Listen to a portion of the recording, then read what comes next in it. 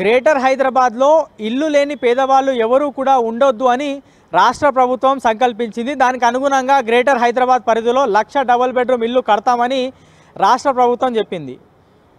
సంవత్సరాలు గడిచిపోతున్నా చాలా వరకు డబుల్ బెడ్రూమ్లు పూర్తి స్థాయిలో నిర్మాణం కాలేదు అనేది చాలామంది చెప్తున్నటువంటి మాట.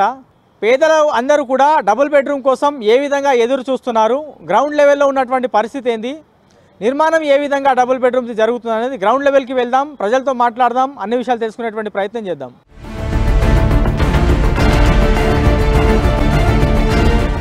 గ్రేటర్ హైదరాబాద్ పరిధిలో ప్రతి ఒక్కళ్ళ అర్హుడికి డబుల్ బెడ్రూమ్ కట్టిస్తామని రెండు వేల పదిహేనులో రాష్ట్ర ప్రభుత్వం చెప్పింది. ఇప్పుడు రెండు వేల ఇరవై ఒకటి అంటే ఆరు సంవత్సరాలు కంప్లీట్ అయిపోయినా కానీ డబుల్ బెడ్రూమ్ల ఇళ్ళ నిర్మాణం అనేది పూర్తి స్థాయిలో కంప్లీట్ కాలేదు. ఇక్కడ ఉన్నటువంటి సిచ్యువేషన్ చెప్పే ప్రయత్నం చేస్తా. ప్రస్తుతం నేను కట్టెల మండిలో ఉన్నా. కట్టెల మండిలో గతంలో ఇక్కడ అన్ని గుడిసెలు ఉండే. దాదాపుగా నూట ఇరవై ఎనిమిది నుంచి నూట ముప్పై కుటుంబాలు ఇక్కడ నివసించేటివి. అయితే అప్పుడు ఉన్న ప్రభుత్వము ఇక్కడికి వచ్చి ఈ గుడిసెలన్నీ కూడా తొలగిస్తాం. మీ అందరికీ కూడా డబుల్ బెడ్రూమ్ కట్టిస్తామని ఫౌండేషన్ స్టోన్ వేసింది. మనం ఒక్కసారి ఇక్కడ ఇనాగరేషన్ బోర్డు చూడొచ్చు. Foundation stone laid on twenty fourth twelve two thousand fifteen రెండు వేల పదిహేనులో ఈ ఫౌండేషన్ స్టోన్ వేసింది. నిర్మాణం ఎప్పుడు జరిగింది అంటే ఇక్కడ పూర్తి స్థాయిలో నిర్మించింది ఇంకా నిర్మించాల్సింది ఉన్నప్పటికీ కూడా పూర్తి స్థాయిలో నిర్మించలేదు. నూట మూడు ఇల్లు మాత్రమే నిర్మాణం అయినట్టుగా మనకి ఇక్కడ గ్రౌండ్ లెవెల్లో ఉంటే తెలుస్తుంది. రెండు వేల ఇరవైలో నూట మూడు ఇల్లు ఇక్కడ నిర్మాణం అయ్యాయి. మనం ఈ చూస్తున్నాం కదా ఈ ఇల్లులే దీంట్లో ప్రస్తుతం లబ్ధిదారులు ఉంటున్నారు. అయితే గతంలో నూట ఇరవై ఎనిమిది నుంచి నూట ముప్పై కుటుంబాలు ఇక్కడ ఉండే కానీ ప్రస్తుతం ఇచ్చింది మాత్రం కేవలం నూట మూడు మందికి అని చెప్తున్నారు. ఇంకా కొన్ని ఇల్లు నిర్మాణం జరగాల్సి ఉంది. మనం ఈ పక్కనే విజువల్ చూసుకోవచ్చు. ఇది ఇంకా నత్త నడకన నిర్మాణం అనేది జరుగుతుంది. మనం గత ఏడాది వచ్చాం. పరిస్థితి దీనికన్నా దయనీయంగా ఉండే. ఇప్పుడు ఈ విధంగా ఉంది. లాక్డౌన్ సమయంలో నిర్మాణాలు చేసుకోవచ్చు. ఎలాంటి ఇబ్బంది లేదు. సిమెంటుకు కానీ సీకు కానీ ఇసుకకు కానీ లేదు అంటే ఇక ఇల్లు కట్టడానికి ఏమేమి కావాలో అన్నిటికీ కూడా పూర్తి స్థాయి పర్మిషన్ ఉందని రాష్ట్ర ప్రభుత్వం ప్రకటించింది. ఇంకా ఇది ప్రభుత్వం కడుతున్నటువంటి ఇల్లు కాబట్టి ఎలాంటి ఇబ్బందులు లేకపోవచ్చు. కానీ ఎందుకు ఆగిపోయింది అని మనం అధికారులను అడిగేటువంటి ప్రయత్నం చేయగా ఒకటి మ్యాన్ పవర్ రెండోటి రాష్ట్ర ప్రభుత్వం నుంచి అందాల్సినటువంటి నిధులు అందట్లేదు. అమ్మ మీ పేరేం పేరు? నా పేరు గాయత్రి మా ఆయన పేరు అశోక్ కుమార్ అండి. అరవై ఏళ్ళ సంది మేము మా ఆయన ఇక్కడ పుట్టి ఇక్కడ పెరిగిండు. ఆయనకు అటువంటిది ఇల్లు రాలేదు. మా జాగాలో కట్టిస్తామా అని మమ్మల్ని కాల్ చేపించేసారు కట్టిస్తాం అంటే మేము అట్లా అనేసి మేము వెళ్ళిపోయినాము. ఇప్పుడు మాకు రెంట్ కట్టుతున్నాము నెలకు ఎనిమిది వేల రెంటు. చాలా ఇబ్బందులు ఉన్నాం మేము మాకు మా పిల్లలకు. అప్పుల పాల అయినాము సార్ మేము. మాకు ఇప్పటి వరకు ఇల్లులు రాలేదు. అందరికి వచ్చినాయి కొందరికి వచ్చినాయి కొందరికి రాలేదు. ఇప్పుడు ఇక్కడ ఇన్ని ఇన్ని ఇల్లు కట్టిర్రు కదా? ఇన్ని కట్టిర్రు కొన్ని ఖాళీగానే ఉన్నాయి. అవి ఖాళీగా ఉన్నాయి అని అధికారులకు చెప్పి మీకు అలాట్ చేయమంటే ఏమన్నారు? తిరుగుతున్నాం సార్. అట్లనన్నా ఇస్తారేమో అని అంటే మాకు అట్లా కూడా ఇస్తలేరు కదా తిరుగుతూనే ఉన్నాం. ఎవరెవరిని కలిసిరమ్మా ఇప్పటివరకు? మీకు డబుల్ బెడ్రూమ్ రాలేదు మేము ఇట్లా ఇబ్బందులు పడుతున్నాం లక్షల రూపాయలు రెంట్లు కట్టుకునే బతుకుతున్నామని. గత ఐదు సంవత్సరాల క్రితం ఇక్కడ ప్రభుత్వం వచ్చి డబుల్ బెడ్రూమ్ మాకు ఇక్కడ చిన్న చిన్న పూరి గుడిసెలు ఉండే. దాని ప్రభుత్వం వచ్చి మాకు గుడిసెలు తీసేసి డబుల్ బెడ్రూమ్ ఇల్లు కేటాయిస్తుంటే చాలా సంతోషం వ్యక్తం చేసినాము. అదే ప్రకారం ప్రభుత్వం నిర్మించింది. కానీ మాకు ఏంటంటే ఇక్కడ one twenty eight houses allot అయినాయి. నూట ఇరవై ఎనిమిది ఇండ్లు ప్రభుత్వం అలాట్ చేసింది. కానీ కేవలం నూట మూడు ఇండ్లు మాత్రమే లబ్ధిదారులకు ఇచ్చింది. మిగతా ఇరవై ఇరవై ఐదు ఇండ్లు స్థానిక ఎంఆర్ అప్పుడు ఎంఆర్ హేమలత గారు ఉండే. అప్పుడు మాకు లిఖితపూర్వకంగా రాసి ఇచ్చారు. ఏంటంటే మీకు కంప్లీట్ అయినాక మీకే మీ ఇక్కడ స్థానికులకే మేము ఇరవై ఐదు కేటాయిస్తాము అని లిఖితపూర్వం రాసి ఇచ్చింది కానీ ఆమె చెప్పిన మాట ప్రకారం మళ్ళీ మేము ఇక్కడ నూట మూడు ఇనార్గేషన్ తర్వాత స్థానిక మన డిఆర్ఓ అనిల్ కుమార్ గారిని కలిసినాం. మళ్ళీ ఆర్డీఓ మన వెంకటేశ్వర స్థానిక ఎంఆర్ఓ రామకృష్ణ గారిని కలిసినాము.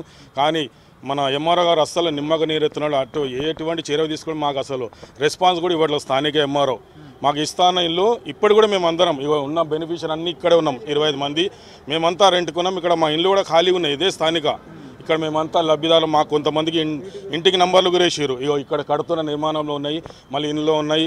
ఇరవై ఐదు ఇళ్ళు ఖాళీగా ఉన్నాయి. మళ్ళీ ఏవైతే వాళ్ళు ఇస్తా అన్నారు మళ్ళీ ఇప్పటి కేటాయిస్తున్నాం మళ్ళీ దీంట్లో రాజకీయ ఒత్తిడి ఉందా ఏముందా మాకైతే అర్థం అవ్వట్లేదు ఇప్పుడు కాదమ్మా ఈ ఇల్లులు కడితే మీకు ఇల్లు ఇచ్చే ఆస్కారం ఉంటుంది. ఆ, రాసిచ్చాడు సార్ మేము ఇక్కడ ఎలిజిబులే. మా అత్త మామ నుంచి ఎలిజిబులే. మాకు ఇక్కడ పేరుంది. మా బస్సివాసులు మాకు అన్యాయం చేస్తారు బయట కూడా అన్యాయం చేస్తున్నారు. మేము. అందరం ట్వంటీ ఫైవ్ మెంబర్స్ యూనిటీ అయ్యి మేము తిరుగుతున్నారు. ఎక్కడి నుంచి రెస్పాన్స్ రావట్లేదు. ఆడియో దగ్గరికి వెళ్ళినాం ఎంఆర్ఓ దగ్గరికి వెళ్ళినాం. ఎక్కడి నుంచి రెస్పాన్స్ ఏం రావట్లేదు. ఏంటమ్మా మీకు ఎట్లా ఉంది? పరిస్థితి ఇక్కడ ఎట్లా ఉంది? చాలా మందికి ఇల్లులు వచ్చినప్పటికీ ఇంకొంతమందికి ఇల్లులు రావాల్సి ఉంది. అధికారుల దగ్గర నుంచి రెస్పాన్స్ రావట్లేదని చెప్తున్నారు. వన్ నాట్ త్రీ అలర్ట్ చేసినప్పుడు ఏమన్నారంటే ఒక పదిహేను రోజులలో మాకు మిగతా ఇండ్లు అలాట్ చేస్తాము ఫ్యామిలీలు ఉన్నాయి. మీరు అప్పటి వరకు అయితే అడ్జస్ట్ కండి అనేసి అంటే మేము రెంట్లు కట్టుకోలేక ఉద్యోగాలు లేక ఈ లాక్డౌన్ వల్ల ఎన్ని ఇబ్బందులు పడుతున్నామంటే తినడానికి కూడా తిండి లేదు. రేషన్లో బియ్యం దొరుకుతాయి మిగతా పప్పులు ఉప్పులు ఎవరిస్తారండి మాకు? ఎవరు అట్లా మేము పస్తులు వండుకుంటూ కూడా రెంట్లు కట్టుకుంటూ బయట ఉండి ఇంత ఇది చేస్తున్నాం కూడా మాకు.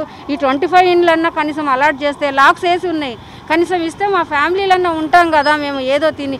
ఇప్పుడు మళ్ళీ లాక్డౌన్ అన్నారు. ఇన్ని రోజుల నుంచి మేము ఎట్లా ఉన్నామని ఏ అధికారి వచ్చి మమ్మల్ని అడగలేదు. ఇక్కడ నుంచి ఒక హాఫ్ కిలోమీటర్ కూడా ఉంది కలెక్టర్ ఆఫీస్. రోజు ఒకసారి కూడా రాలేదు. వెళ్తున్నాం ఈ ఫేసులన్నీ కావాలంటే ఈ ఫేసులన్నీ వాళ్ళని అడగండి కావాలంటే టీవీలో చూపించి. ఈ ఫేసులన్నీ రోజు తిరుగుతున్నాం. కానీ అసలు మాకు రెస్పాన్సే ఇవ్వట్లేదు వాళ్ళు. పిల్లలను వదిలేసి టూ త్రీ అవర్స్ స్టే చేస్తున్నాం సార్ అక్కడ. లెవెల్కి వెళ్తే ఫోర్ వరకు అక్కడే ఉంటున్నాం. లంచ్ లేదు టిఫిన్ లేదు. మాకు రెంట్కి ఇబ్బంది అవుతుంది కదా సార్ ఎట్లా కట్టుకుంటాం ఈ లాక్డౌన్ మా ఆయన ఆటో డ్రైవరు. ఆ daily two three hundred rent కట్టుకుంటామా? పిల్లలను చూసుకుంటామా? మా ఫుడ్ చూసుకుంటామా? చెప్పండి. ఇది కట్టెల్ మండిలో నెత్తనడకన సాగుతున్నటువంటి డబల్ బెడ్రూమ్ ఇళ్ళ నిర్మాణం లబ్ధిదారులకు అందనటువంటి ఇళ్ళపై అప్డేట్. మరో ఏరియాకి వెళ్ళాం అక్కడ డబుల్ బెడ్రూమ్ ఇళ్ళ నిర్మాణం ఎట్లా జరుగుతుంది? ఆ లబ్ధిదారులు ఏమంటున్నారు అనేది అక్కడికి వెళ్ళి అన్ని విషయాలు తెలుసుకునేటువంటి ప్రయత్నం చేద్దాం.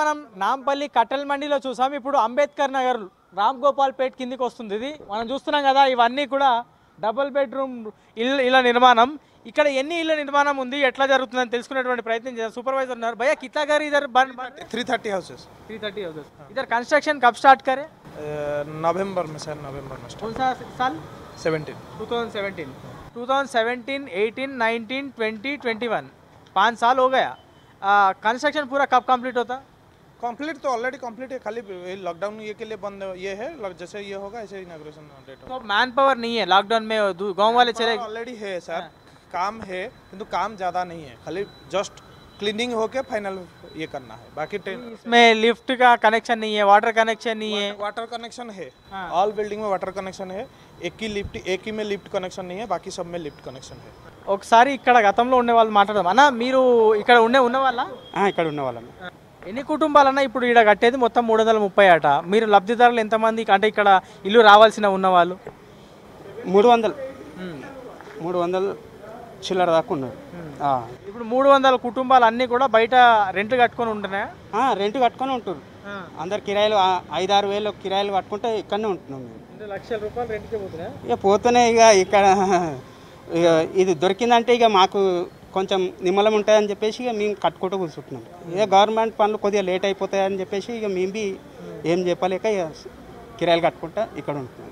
కిరాయిలు కట్టాలంటే అవి కొద్దిగా ఈ లాక్డౌన్ లోపట్ల పనులు బి సరిగా మాకు లేకుండా కిరాయిలతోటి జర కొంచెం అయ్యప్ప అని చెప్పేసి నడిపించుకుంటా జీవితం నడిపించుకుంటున్నాం. చూస్తున్నాం కదా ఇక్కడ లబ్ధిదారులు అంటే ఎవరికైతే ఇల్లు దక్కాలో వాళ్ళ ఆవేదన ఏంటి అనేది ఈయన మాటల్లో కూడా విన్నాం. ఇది అంబేద్కర్ నగర్లో డబుల్ బెడ్రూమ్ ఇళ్ళ నిర్మాణంకి సంబంధించినటువంటి రిపోర్ట్. మరో ఏరియాకి వెళ్దాం. అక్కడ ఉన్నటువంటి పరిస్థితి ఏంది? డబుల్ బెడ్రూమ్ ఇళ్ళ నిర్మాణం ఎట్లా జరుగుతుంది? లాక్డౌన్ ఎఫెక్ట్ ఏమన్నా డబుల్ బెడ్రూమ్ ఇళ్ళ నిర్మాణంపై పడిందా అనేది తెలుసుకునే ప్రయత్నం చేద్దాం.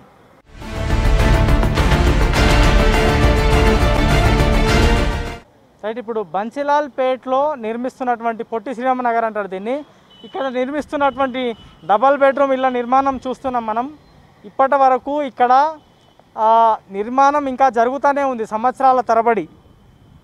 ఒక్క సంవత్సరంలో ఇస్తామనేటువంటి మాట అధికారులు మంత్రులు చెప్పినట్టుగా కూడా ఇక్కడ ఉన్నటువంటి గతంలో ఎవరైతే గుడిసెల్లో ఉండేనో వాళ్ళు చెప్తున్నారు. అమ్మ ఏం పేరు నీ పేరు. ఇప్పుడు ఈడ నీ గుడిసె ఉండేనా ఇంతకుముందు? నా ఉంది ఈడ ఇల్లు కానీ ఇస్తామని చెప్పిర్రు. రెండు ఎన్న రెండు సంవత్సరాలు అని చెప్పిండ్రు ఇప్పుడు ఆరు సంవత్సరాలు అవుతుంది ఇంకా ఇస్తలేరు. నా కొడుకులు ఉండగా జర ఇమ్మతుండే. ఇద్దరు కొడుకులు చచ్చిపోయిండ్రు ఇక ఇప్పుడు ఇంటికి రే కట్టడానికి నాకు వెళ్తలేదు నెల నెలకు పింఛన్ వస్తే పింఛన్ కూడా ఇంట్లోకే పోతుంది. రెండు ఇళ్ళ బాసంతంతో అవి ఇంట్లోకే పోతున్నాయి ఇక మేము. ఎట్లా తినాలి? ఇక ఇంటికి రాయి కట్టుకుంటా ఇక ఐదు మంది ఆడపిల్లలు ఉన్నారు. ఆ పిల్లలు పెట్టుకొని నేను ఏడుంటో వయసు పిల్లలు ఉన్నారు ఇంట్లో. ఎంతమ్మా ఎంత కిరాయి కట్టుకొని? ఆ? ఎంత కిరాయి? ఐదు వేలు. మళ్ళీ కరెంట్ బిల్ అలాగా. గిట్ట గిట్ట రెండు రూములు ఉన్నాయి అంతే. అందుకే ఇక అందులోనే పడిసి వస్తున్నాం. కారమో గంజో తినుకుంటా. ఈ నెలలో బియ్యం మాత్రం పుణ్యానికి ఇచ్చిండ్రు. ఇంతకుముందు పైసలు తీసుకొనే ఇచ్చిర్రు ఈ నెలలో రాసిన బియ్యం ఒట్టిగానే ఇచ్చిర్రు అన్న ఇప్పుడు ఈ రెండు సంవత్సరాలు సంవత్సరంలో కట్టిస్తామని చెప్పారు ఇప్పుడు ఆరు సంవత్సరాలు అయిందని మీరే అంటారు కదా. మరి ఇంకా ఇప్పుడు చూసిర్రా మళ్ళీ ఎప్పుడు ఇస్తాం అనేటువంటి మన మాట? చెప్తలేరు సార్ మాకు ఏం జవాబు చెప్తలేరు.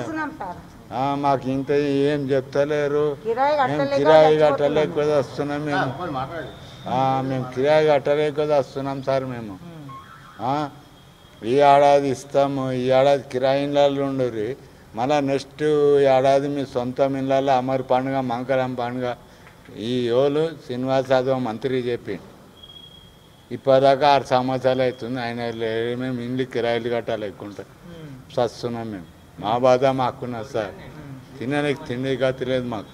చూశారు కదా లక్ష డబల్ బెడ్రూమ్లు కట్టిస్తామని ప్రభుత్వం హామీ ఇచ్చింది. సంవత్సరాలు గడిచిపోతున్నాయి. ఐదు ఆరు సంవత్సరాలు గడిచిపోతున్నా పేదవాళ్ళకు డబుల్ బెడ్రూమ్ ఇప్పటి వరకు చాలా వరకు అందలేదు. ఇప్పటికైనా సరే రాష్ట్ర ప్రభుత్వం స్పందించి పేదవాళ్ళకు అర్హులకు అందరికీ కూడా డబుల్ బెడ్రూమ్ కేటాయించాలి త్వరలో అనేది మనం కూడా కోరుకుందాం. ఇది గ్రేటర్ హైదరాబాద్ పరిధిలో నత్తనడకన జరుగుతున్నటువంటి డబల్ బెడ్రూమ్ నిర్మాణం. దానికి సంబంధించినటువంటి పూర్తి అప్డేట్.